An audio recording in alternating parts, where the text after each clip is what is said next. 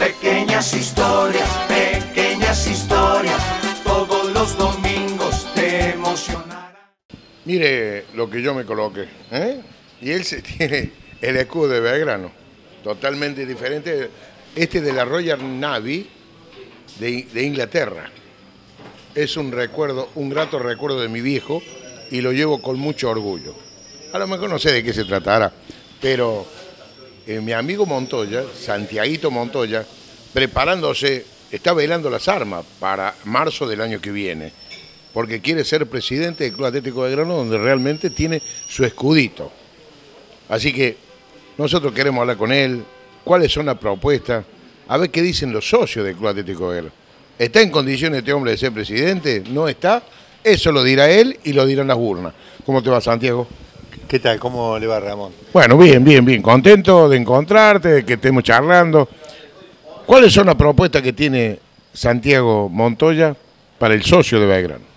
Bueno, eh, nosotros estamos en una circunstancia donde eh, hace tres años con Encuentro Pirata nos hemos presentado como un espacio justamente el nombre encuentro. Sí, pero el nombre encuentro tiene que ver con una convocatoria a la unión de los distintos sectores de Belgrano, porque entendemos que Belgrano va a llegar más alto mientras más unidos y movilizados estemos. Ahora, Ramón, se ha abierto una oportunidad extraordinaria, eh, que es la posibilidad de que eh, acabo de ver un reportaje del presidente Pérez en Radio Sucesos, donde él plantea que quiere estar, eh, que quiere estar eh, en el futuro de Belgrano, en el lugar donde le ofrezcan en una lista, y hemos visto la oportunidad y le estamos ofreciendo al presidente Pérez eh, un lugar que sea, que, sea el que quiera, dentro de las posibilidades que ofrece el estatuto.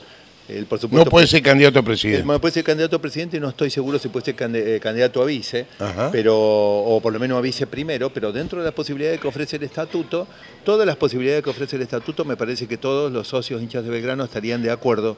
Y, también lo puede convocar, convocar al turco Rufael, a la torta.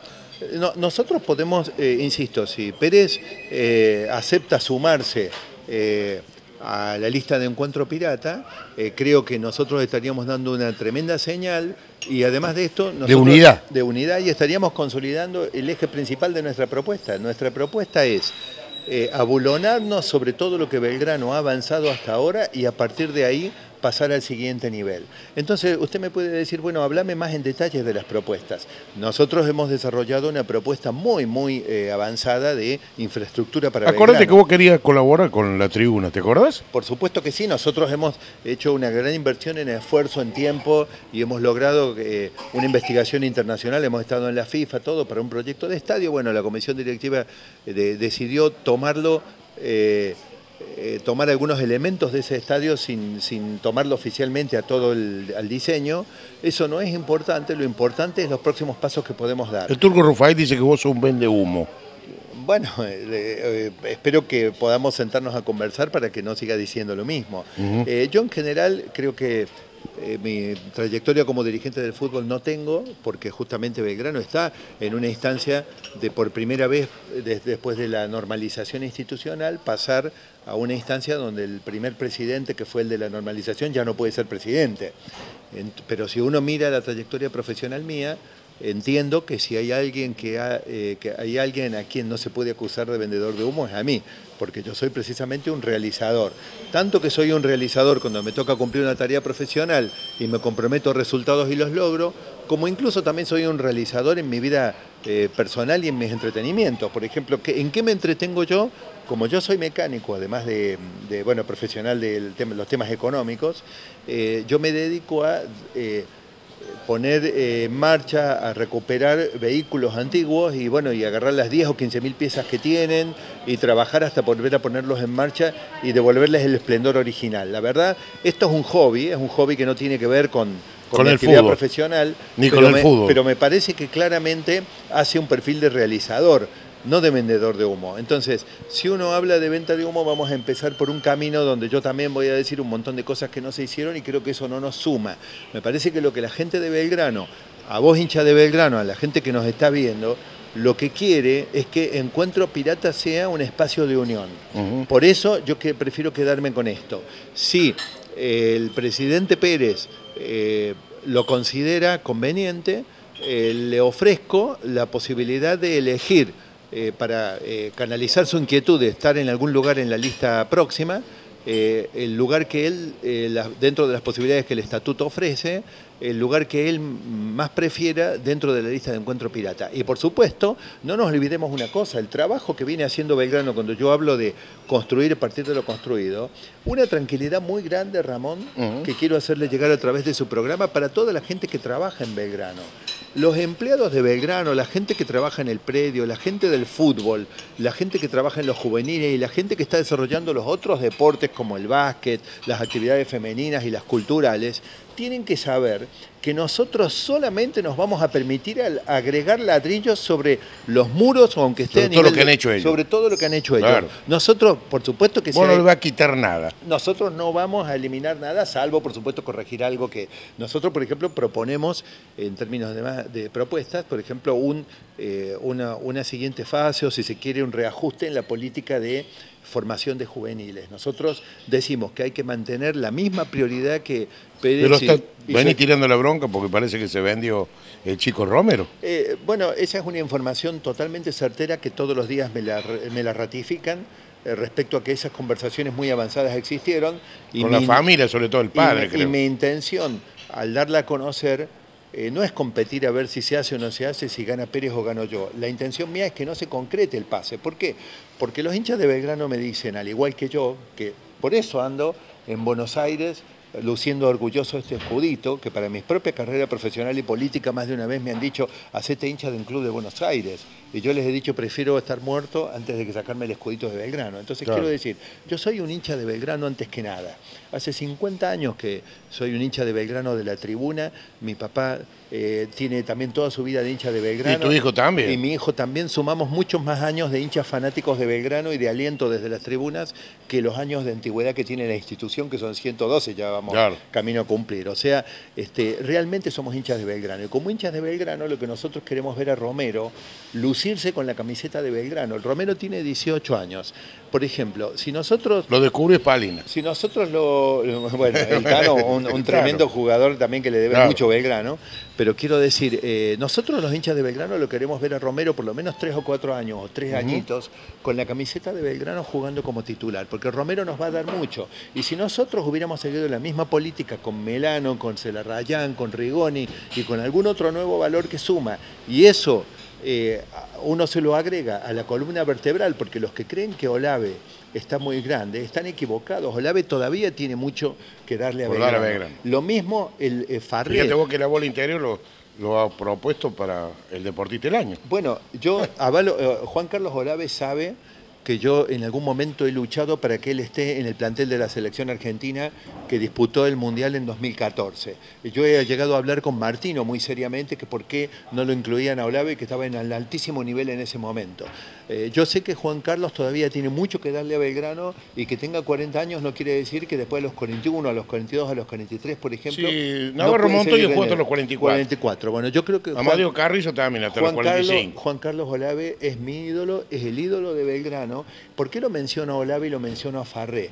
Algunos hinchas por ahí dicen Farré está un poco mayor. No, señores, Farré está absolutamente vigente. Además es un profesional. Yo estoy al tanto de las cosas que pasan. No, saben que yo sé mucho más de lo que creen. Farré, sepan, es el primero que llega todas las mañanas al entrenamiento y es el último que se retira del entrenamiento. Farré está absolutamente vigente. Y habla con los chicos. Y habla con los chicos. Entonces, ¿por qué yo menciono los pibes y ahora salto a los referentes del plantel? Porque nosotros, a partir de ese eje fundamental, donde Olave, donde Farré y algún otro son los que le van a transmitir a los juveniles lo que es Belgrano, lo que tienen, y le van a aprender, a, le van a, pasar la épica. Pero me imagino que va a traer algunos refuerzos. la gente está desesperada. pero está bien, pero le van a pasar la épica de, las finales contra River, por ejemplo. ¿Quién se las va a pasar? Tienen que ser Olave, Farré, los gladiadores que estuvieron en esa batalla. Entonces, si nosotros combinamos una política de divisiones inferiores con una política de mantener los hombres claves que vienen de historia de Belgrano, más una política de refuerzos, un poquito dentro de las posibilidades que tiene Belgrano, Belgrano. Siempre es posible ir un paso más adelante. Yo creo que la gente de Belgrano hoy lo que está pidiendo es no, que hipotequemos el club, sino que seamos un poquito más audaces con esto. Y de última, si tenemos que partir eh, a, compartir con la gente, decirle, miren, este, tenemos esta posibilidad eh, y vamos a tomar esta decisión. ¿Estás enfrentado vos con Armando Pérez? Mm, yo he enfrentado... El hombre, el hombre te tira mucho piojo. Bueno, a ver, le estoy ofreciendo a Armando Pérez, frente a la hinchada, a través de este programa, eh, esa eh, inquietud que tiene de formar parte de, la próxima, de una próxima lista para estar en algún lugar en el futuro de Belgrano, ahora que no puede ser presidente, le ofrezco formalmente a Armando Pérez formar parte de la lista de Encuentro Pirata en cualquier lugar de la lista de 2017 que el estatuto lo permita. O sea, el presidente no puede ser, eh, no sé si puede ser vicepresidente primero, pero los, lugares, eh, cualquiera de los lugares que son 30... Que le elija, vos se lo das. El que le elija lo tiene. Y por supuesto que algunos de sus hombres, si él quiere, digamos, tener algún núcleo de la gestión, porque nosotros creemos que la gente de Belgrano lo que quiere es la unidad. Por lo tanto, si yo es que hubiere ofendido de alguna manera a Armando Pérez con algún eh, comentario mío, que si usted se fija, no sé cuál sería la ofensa, porque yo lo que he pedido que él renuncie a la AFA. ¿Por qué he pedido que renuncie a la AFA? Quiero que los hinchas lo sepan y que si Armando Pérez quiere enterarse... Porque está abandonado Belgrano también. No, no es que... Por está abandonado. Pero a ver, si Belgrano estuviera en piloto automático y estuviera yendo bárbaro, yo no molestaría con este aspecto. Pero si Belgrano está teniendo problemas, si Belgrano está con la necesidad de que un motivador como él venga, esté encima del predio por ahí, que esté eh, eh insuflándoles ánimo para salir de este mal momento que, tiene el plantel, eh, entonces Pérez se tiene que ocupar de Belgrano. A mí la verdad que la AFA me importa porque somos argentinos, pero me importa menos que Belgrano. A mí me importa Belgrano, no la AFA. Entonces, el dirigente más valioso que tenemos es Armando Pérez y alguien no se puede ofender por el hecho de que un hincha de Belgrano quiera que el dirigente más valioso se ocupe de Belgrano. ¿Por qué se ofende? Lo segundo Además, dijiste también que la tribuna no se está por hacer. Bueno, hay eh, problemas. La, tribuna tiene. Eh, déjeme explicar primero el segundo factor por el cual yo quiero que Pérez renuncie a la AFA y venga a Belgrano. Porque está en el nivel de violencia que toda la dirigencia del fútbol argentino, los dirigentes del fútbol tienen contra Pérez que yo lo que me temo, y esta no es una inquietud mía sola, sino que me la ha comentado gente del periodismo de Córdoba y masivamente los hinchas que se comunican conmigo, el temor es que después haya una represalia, porque el, contra Belgrano. Cuando, contra Belgrano, cuando Belgrano, cuando Pérez, porque Pérez no puede ser presidente de AFA, eso está, eh, eh, quiere decir que cuando él termine la normalización y llame elecciones, Pérez no va a poder estar en la presidencia. Ni va a ser presidente de la AFA ni presidente de Belgrano. entonces, ¿cuál es el temor que los hinchas de Belgrano tenemos y es fundado? Que la AFA empiece con una represalia contra Belgrano y tengamos la misma suerte que tuvo River en su momento, porque no nos olvidemos que hubo una pelea entre Grondona y Pasarela y así terminó River después jugando la promoción, más allá de que en el último partido hayan querido que el árbitro lo sabe, lo salve, pero ¿cómo ¿quién te gustaría de presidente? ¿De, presidente de, qué? De la AFA. No, yo creo que ahí hay que dejar que, primero no están los estatutos de la AFA definidos, pero estaría bueno que haya, que se refresque el tema de AFA, que no sea uno de los mismos que siempre estuvo, y yo creo que hay, hay dirigentes, hoy hay que tener una visión mucho más vinculada al tema del espectáculo, eh, y por lo tanto yo creo que los hombres que se han planteado para eso, que son, eh, por un lado, yo lo que veo que están en carrera Daniel Vila y Marcelo Tinelli, son dos hombres, bueno, de perfil distinto, pero que tienen en común el aspecto de explotar el espectáculo. Me parece que si nosotros no entendemos esto, vamos a estar muy mal. Pero yo estaba pidiéndole disculpas a Pérez.